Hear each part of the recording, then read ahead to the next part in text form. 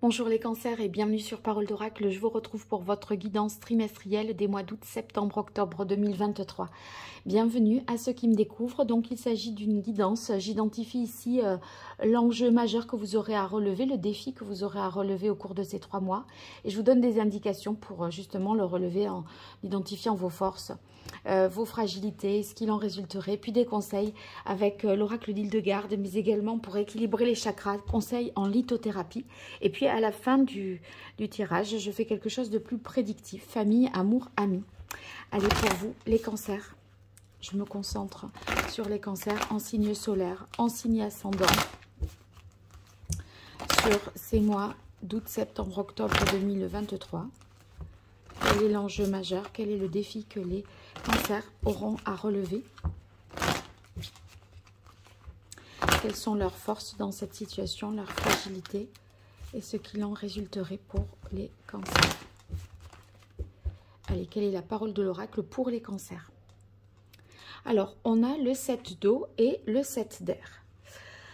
Euh, ici, avec le, le 7 d'air, vous voyez, c'est... Euh, il y, a, une suspicion, une inquiétude, parce que vous avez peut-être peur que... Euh, on vous mente, on vous trompe, on vous trahisse.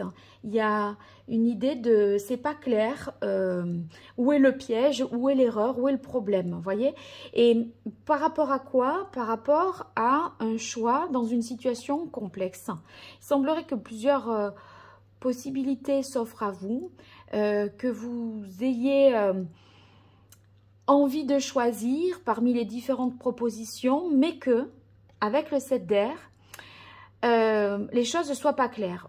Vous avez peur qu'on vous en mette un petit peu plein la vue et que vous ayez une erreur d'appréciation, de jugement dans une situation donnée.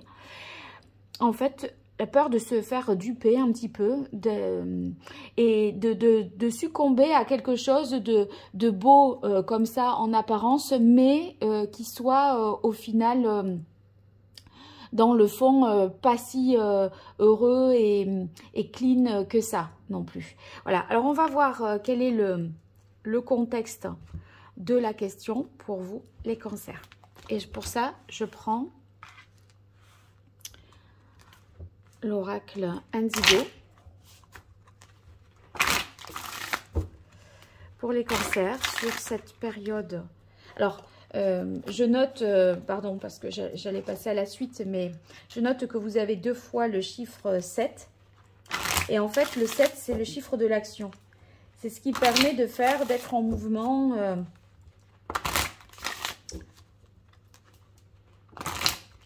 c'est cette énergie qui pousse à agir. Et en fait, il y a une envie d'agir, mais une difficulté à se positionner parce qu'on sent que les choses ne sont pas très clair et on a peur de se faire avoir. Voilà. Alors, quel est le contexte de ce défi, de cette problématique pour les cancers sur ces mois d'août, septembre, octobre 2023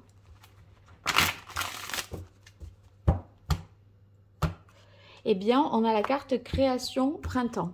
Alors, avec création printemps, euh, c'est vraiment euh, dans l'idée, si vous voulez, d'agir, de créer, de concrétiser quelque chose. En fait, euh, c'est toute cette créativité qui est en vous, tout ce qui relève de la créativité dans votre vie en ce moment, la volonté de, renouveau. vous êtes tourné vers l'avenir, mais il y a encore un blocage du fait que, eh bien, il y a à choisir. On a peur de faire le mauvais choix. On a peur de se laisser berner. Et euh, de se laisser aller à ce qui séduit, ce qui plaît, sachant que on se dit c'est pas c'est peut-être trop beau pour être vrai et il y a peut-être anguille sous roche. Voilà, donc euh, c'est par rapport à un changement que vous essayez de mettre en place dans votre vie, euh, par rapport à une situation professionnelle ou sentimentale. Ce que j'évoque là comme euh, challenge, ça peut être par rapport à quelqu'un du signe du bélier, du taureau ou du gémeaux, puisque ça relève de la période du printemps. Alors, on va voir maintenant vos forces, vos atouts dans cette situation. Vos forces, points forts, atouts.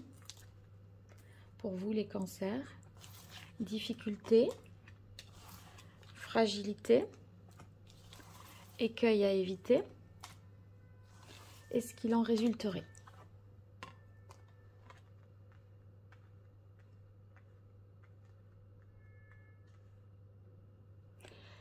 Voilà, et maintenant je fais la même chose avec euh, l'oracle Indigo.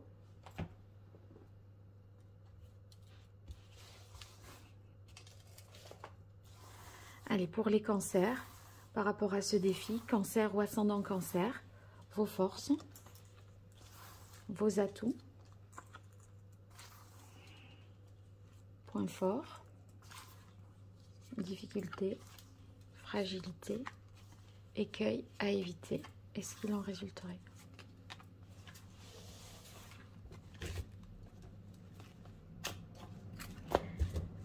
Alors, je vais juste redescendre ça pour que vous y voyez.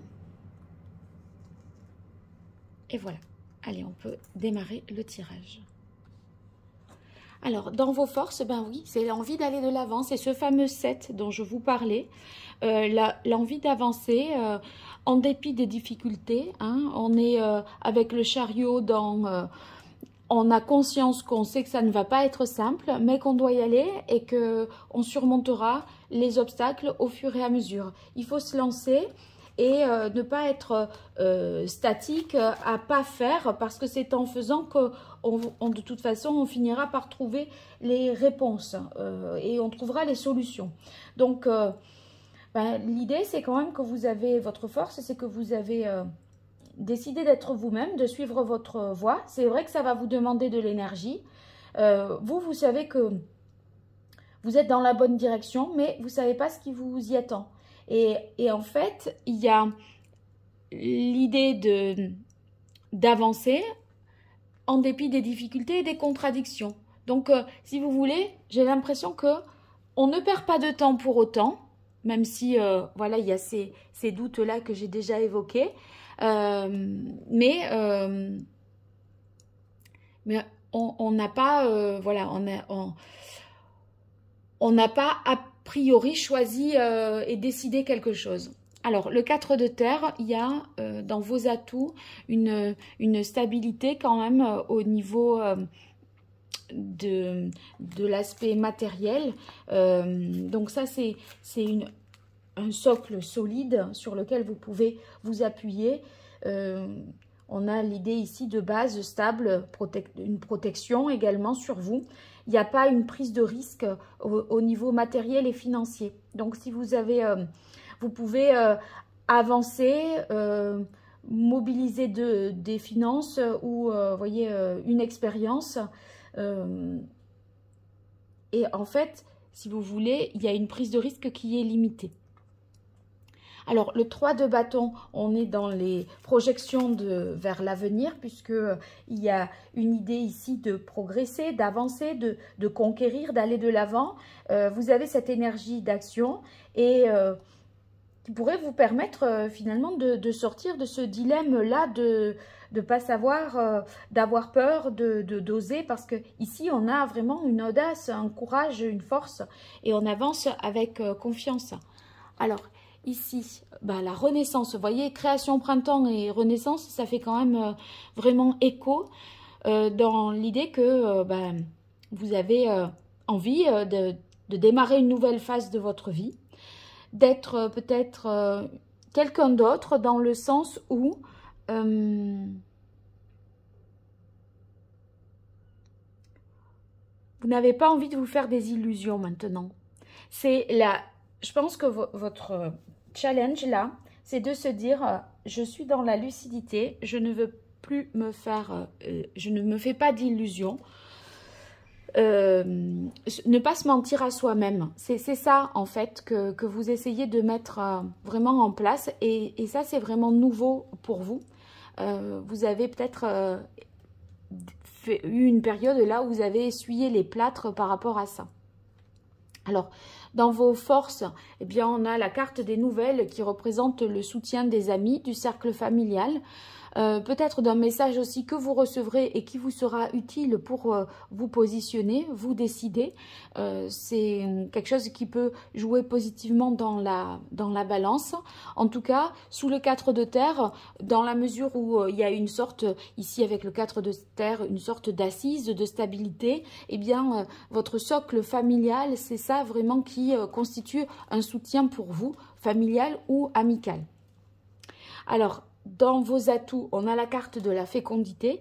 Ben, avec le printemps, euh, voyez, la carte, s'appelle quand même la création. Le printemps, je vous disais, c'est tout ce qui relève de, la création, la créativité, du fait d'avoir des projets. Et euh, bien, euh, vous avez des projets qui sont féconds puisque la fécondité, ça signifie qu'on peut tout à fait faire aboutir euh, quelque chose, surtout qu'on a les conditions matérielles et ici euh, que vous avez des, projets avec le 3 de bâton sur le long terme. Et bon, il y a, y a quand même des choses qui se font étape par étape, donc euh, il faut être patient aussi, mais ça, ça semble bien se, se dérouler. Ça semble bien se dérouler. Dans, enfin, en tout cas, vous avez les, forces, les atouts pour que ça se déroule euh, vraiment euh, au mieux.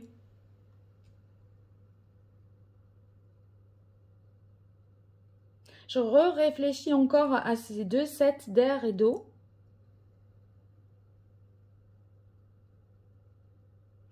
C'est euh, dans l'aspect sentimental, j'ai l'impression que ça pourrait être, euh, voyez, euh, la, peur de se faire euh, avoir.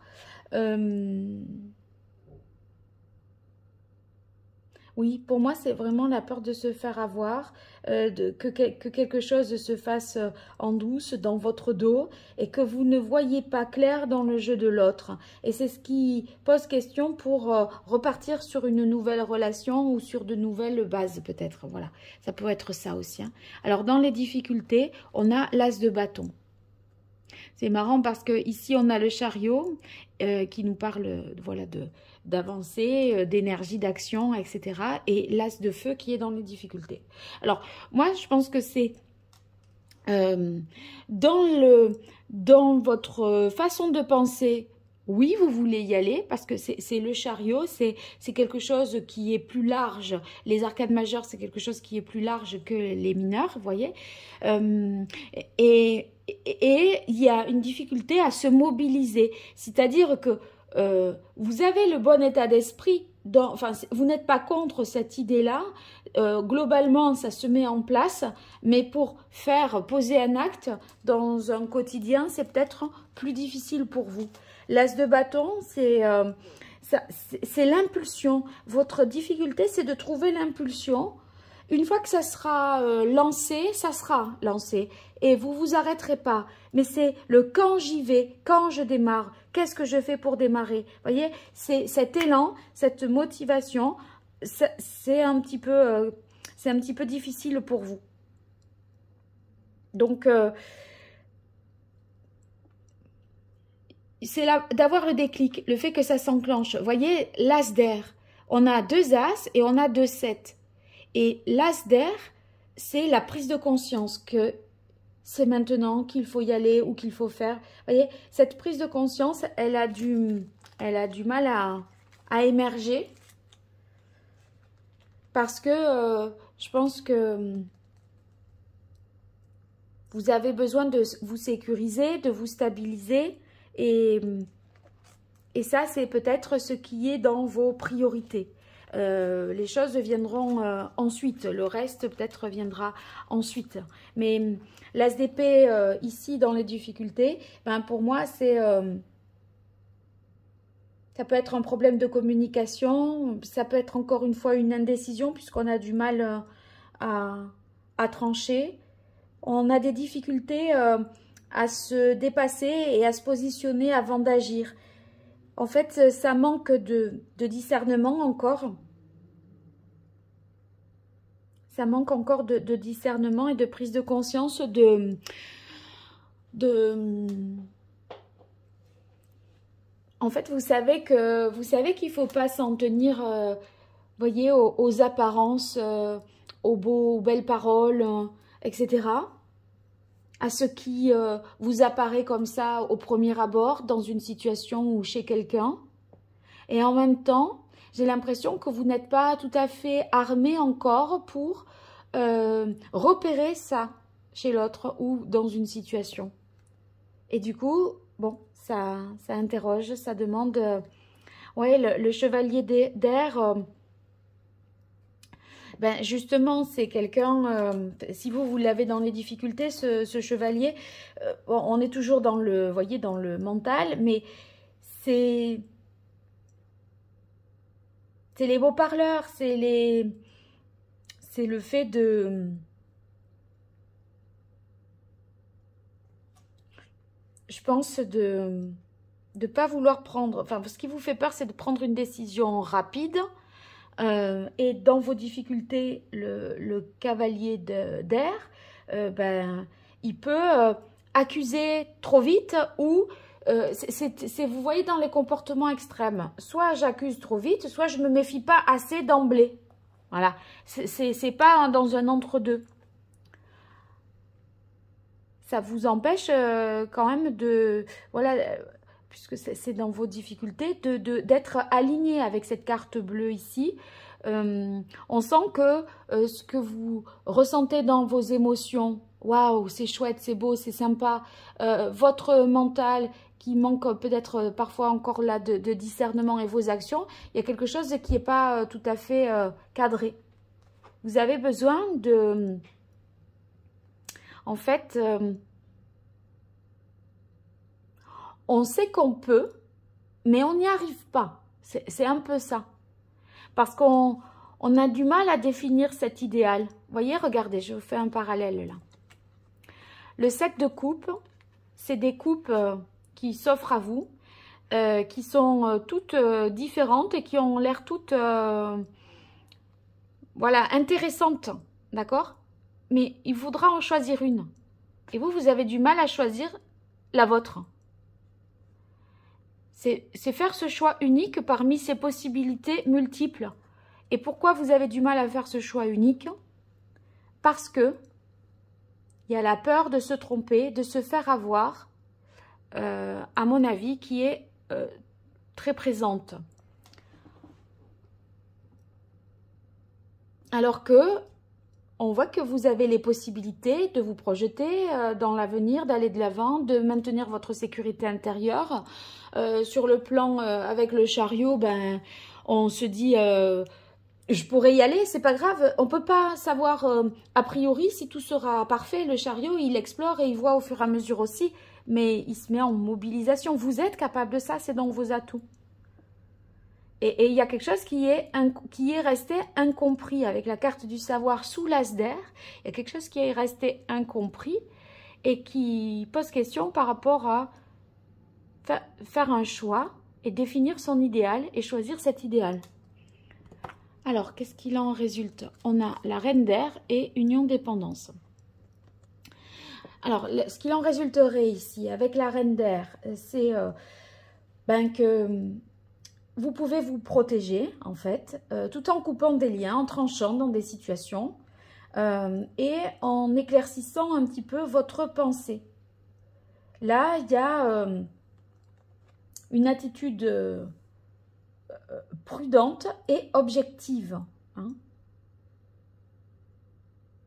prudence et objectivité pour ne pas retomber avec union dépendance dans une situation de, euh, dépendance justement euh, parce que on a choisi quelque chose de très séduisant euh, mais on n'avait pas creusé auparavant ou on n'avait pas voulu approfondir et voir un certain nombre de choses.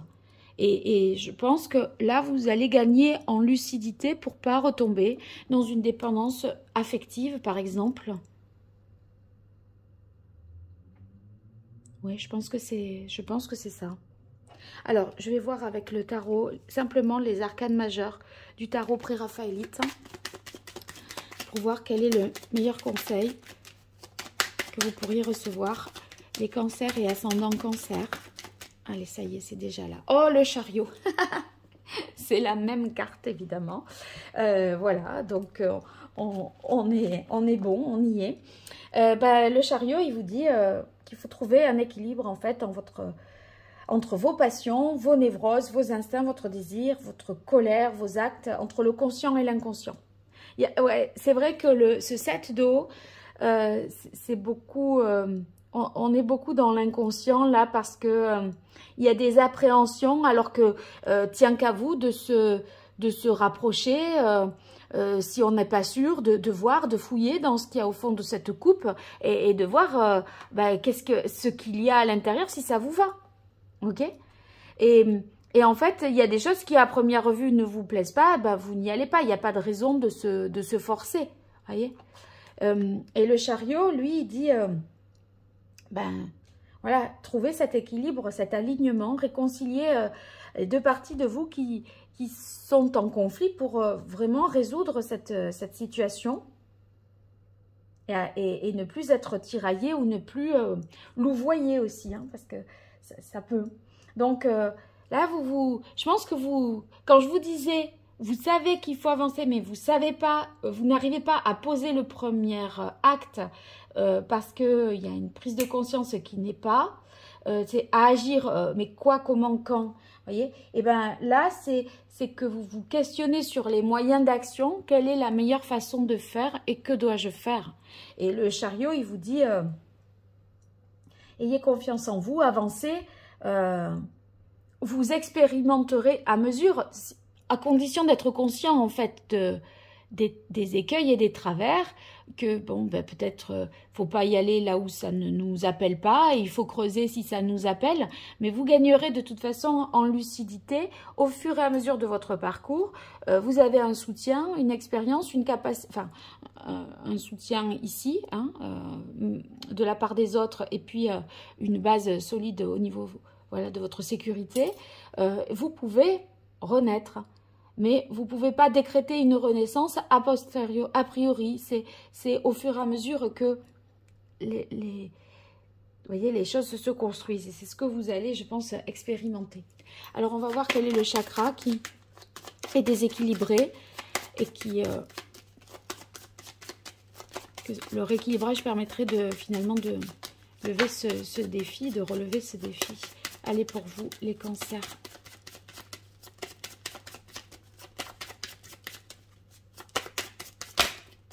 Il a failli sortir, mais je ne l'ai pas vu. Allez, quel est le chakra que les cancers devraient rééquilibrer pour relever ce défi? Hop Le chakra du troisième œil. Alors, avec le chakra du troisième œil, euh, quand il est euh, déséquilibré, en fait, euh, c'est souvent qu'on somatise. Parce qu'on s'identifie à ce que l'on est. au lieu de s'identifier à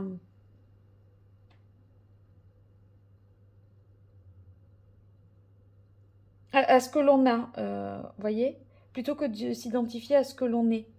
Euh, et du coup,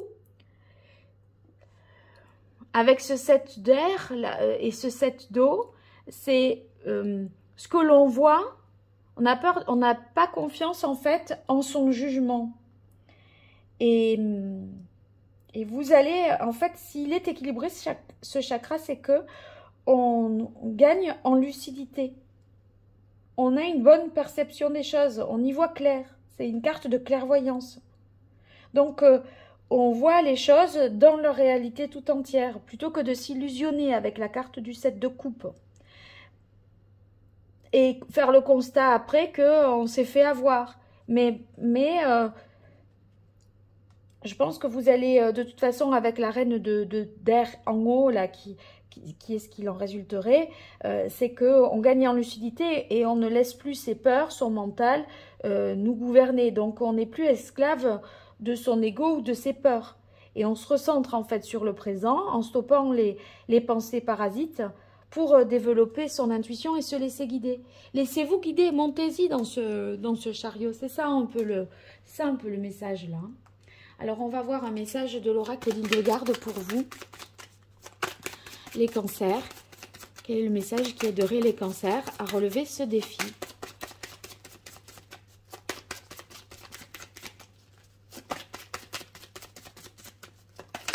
Hop là Voilà, alors il y en a deux. Tout au long de mon existence, je progresse sans peur au fil du temps et des changements.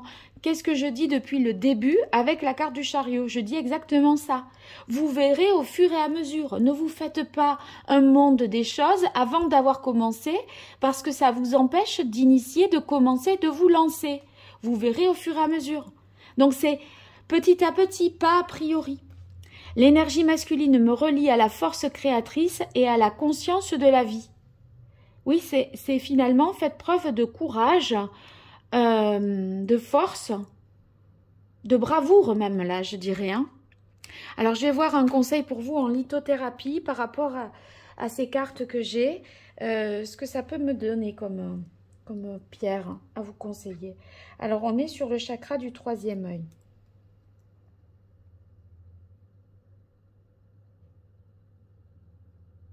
Alors, sodalite, euh, comme pierre, et une autre qui me parle pas mal pour vous dans cette situation et que je n'ai jamais conseillé d'ailleurs, je pense, c'est euh, du mortierite. Du mortierite et sodalite. Parce que ça vous donne, si vous voulez, c'est euh, ça vous permet d'avoir un guide, une étoile, une, un, un repère et de vous dire j'ai confiance, je suis protégée, je peux y aller, je verrai bien, je vais apprendre chemin faisant. Et ça vous donnera une direction. Et si ça vous donne une direction, ben vous vous débrouillerez pour atteindre ce, but. Voilà. Peu importe si euh, on passe, euh, voilà, on, a des difficultés, c'est noir, c'est blanc, ça va à gauche, ça va à droite, voilà. Je pense que c'est ça. C'est ça qui vous aiderait, moi.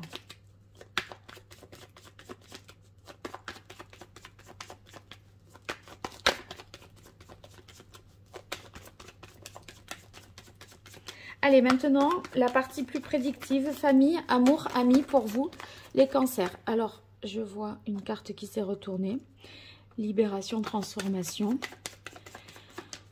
Allez, pour les cancers, sur ces mois d'août, septembre, octobre. Alors, on a la carte dans famille, la carte communication échange. Donc, les échanges seront privilégié, favorisé. D'ailleurs, vous voyez ici les nouvelles, euh, c'était le soutien du cercle familial. Et en fait, par la discussion, par euh, des interactions, des conversations, vous allez mieux comprendre peut-être ce qui s'est passé, euh, et mieux vous comprendre, mieux vous expliquer un certain nombre de choses. En tout cas, en famille, la communication est favorisée. Amour. Attendez, j'y étais pas. Amour pour les cancers sur les mois d'août, septembre, octobre. Amour. Voilà. Départ, pèlerinage. Alors, avec euh, cette carte, on, sent qu'il y a une prise de distance euh, qui est peut-être nécessaire pour euh, une réflexion, un temps d'introspection. la carte départ pèlerinage, c'est un changement de vie peut-être euh, dans ce domaine-là qui, euh, enfin, voyez, un changement, un changement dans, assez fort.